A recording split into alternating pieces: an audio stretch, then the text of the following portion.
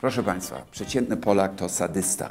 Jak tylko przejeżdża turysta, już na pierwszej stacji benzynowej w Polsce atakuje go ktoś i mówi do turysty: Słuchaj, powtórz, w Szczebrzeszynie chrząszcz brzmi w Cinie.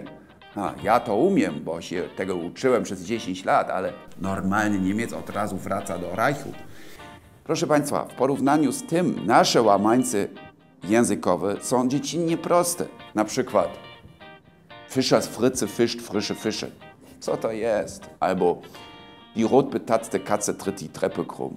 Pryszcz. Albo czego się nauczyłem w wieku już 4 lat.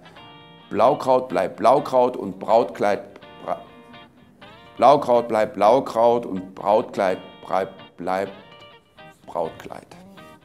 Proste, no nie?